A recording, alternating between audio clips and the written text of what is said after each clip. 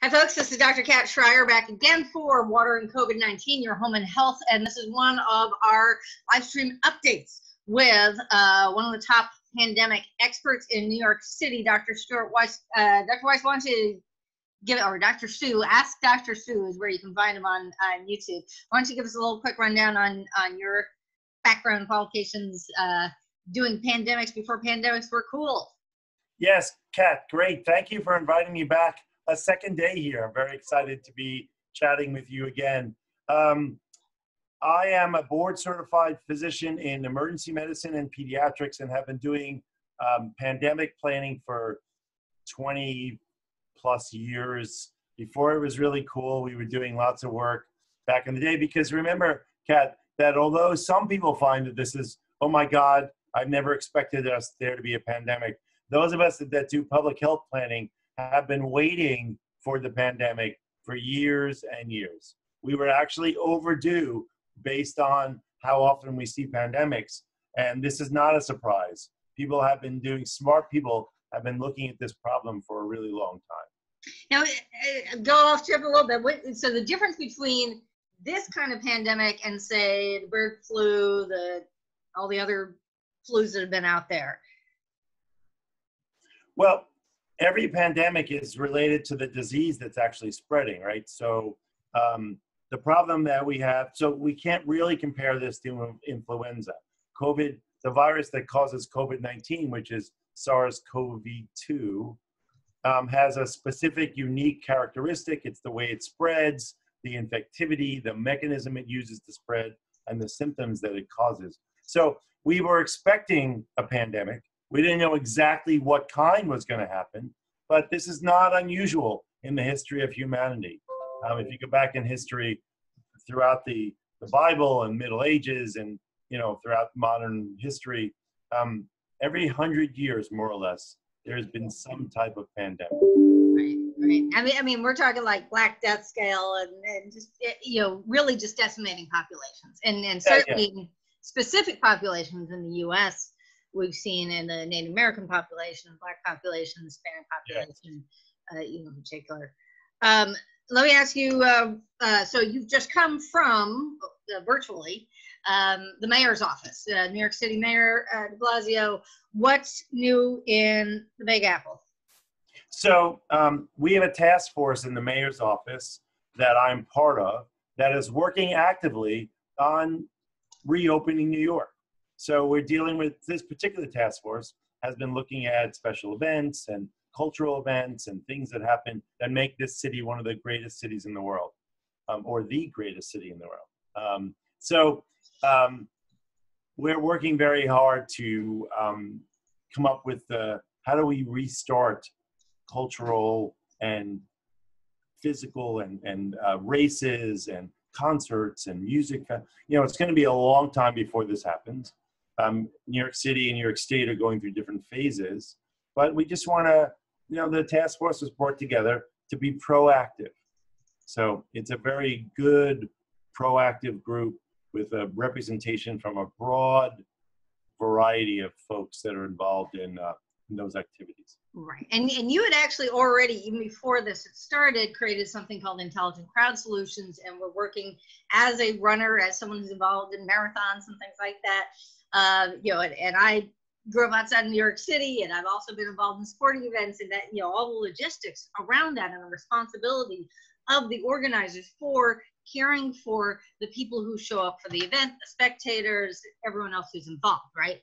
Yes, yes. So, so I'm the CEO of Intelligent Crowd Solutions, and we actually um, specialize in the medical health and safety for large groups of people because there's a real science to the way you move people through gates and you move them upstairs and there's there's a real ways to handle crowd safety. There's real ways to think about how do you take care of sick people, large groups of people. Um, event medicine is actually a, a specialty. I'm actually right now the the head of event medicine section in the american college of emergency physicians. There's a whole section of physicians that deal with large gathering medicine. Um, so you know, I'm involved in that all the time in, in my professional life and in my corporate life. Um, that's what we do.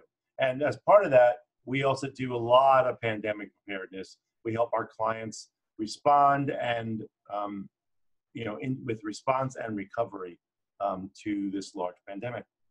Yeah. And of course, in the we very often are thinking ahead to um, crises and and how that affects especially large populations, big events. Uh, whenever there's a hurricane, a flood, whatever, um, and and even just the impacts on water systems of large events themselves. In fact, uh, wastewater systems are typically sized according to the largest flushing event, which is the halftime at the Super Bowl. Yes, and, you, and there are some folks that can predict how many people are actually watching the Super Bowl by the amount of wastewater usage during commercials. Although now the commercials have gotten really fun, that's changed a little bit. But uh, you know now now producers are creating these amazing new commercials. So some people watch the game just for the commercials. Well, and of course they can just take their phone with them in the bathroom and say. They could uh, nowadays they can do that. So, um, okay, let's see. Uh, the reopening. Uh, what is the stage reopening right now for uh, for New York City and New York State, and and uh, also uh, Governor Cuomo's announcement in terms of uh, self isolation for people from other states now coming to New York City, as opposed to before it was New York City going to other states. Right. Isn't that interesting? So, New York City, New Jersey, and Connecticut have done a really good job responding to the COVID 19 outbreak. So, New York City and the surrounding areas were really hard hit in the early days. You can remember the numbers were particularly terrible here. And, you know, our, our outbreak, we think, started in the West Coast, perhaps, although there's been some question where it started. But um, the West Coast was the first news stories that we were seeing. And then New York quickly became the epicenter for the country. But now it's the, re- so think back two months ago, mayor governors in the South were saying, specifically in Florida, if you come to Florida from New York, you have to self quarantine. Now the reverse is happening. So states in the South and the West are doing particularly terrible because they're not breaking the chain of infectivity um, in with this virus. Their their their governors are not, um, in my opinion, are not following the the science and listening to their public health officials um, and they're opening their states very quickly, and you're seeing a big uptick in the numbers of cases. So now New York is probably one of the safest places to be. And the last thing that the governors of New York want to have happen, New York, New Jersey, Connecticut, is have a large influx of people from the South coming in and bringing COVID back into New York. So um, I can understand why they would say that it's a little problematic to implement those kind of policies, but in the United States, because people travel between states so easily. But um, I think it's in the right the right idea is that you don't want to allow people that are infected to bring large numbers of infections back to the states that are doing particularly well. Absolutely, yeah. I was just really quickly. I'm looking at the tab, trying to uh, uh, get the list of. Do you do you know offhand the list of the ten states that have just been listed by uh, Governor Cuomo that are going to. No, I wrote about it in my newsletter. That's right. That's where I saw it. Okay. That's where you saw it. So it's um, uh, off the top of my head, no. Florida, Texas, Alabama, and don't hate me, everybody on this call, if I get it wrong, but. Uh, the Carolinas are on there. North Carolina, North, South Carolina. Yeah. Those I see Alaska or was that Arkansas? I looked at it really. Oh, that was Arkansas. Okay. All right. So Okay, so um, the uh, I know you have another call coming up. The um, and now that you said that, I think I put the wrong initials in. I think AK is, I think it is uh, Alaska. Okay.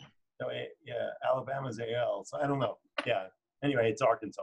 All right. All right. Well, you're. Uh, so by the way, folks, Dr. Stu is is mailing out updates every single day, so you can get emailing, emailing, e- yeah, emailing updates every single day and and I'm still looking for that.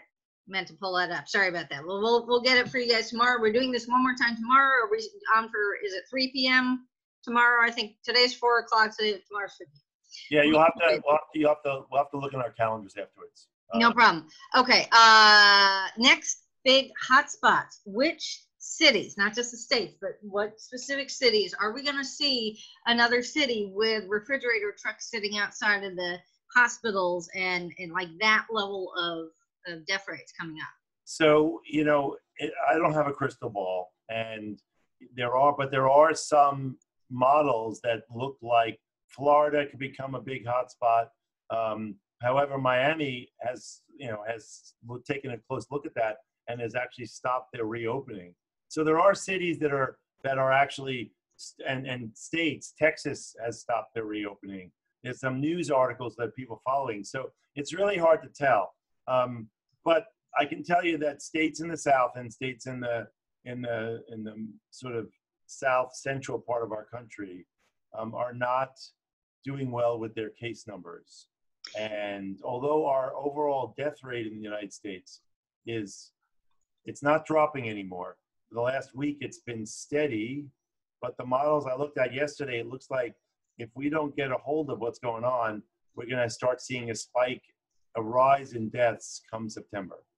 So the new models that I saw um, really looked like we're going to continue along. We're now up to 30,000 new cases a day. It used to be 20,000. So our new cases are rising. Hospitals are getting full in, in parts of the country.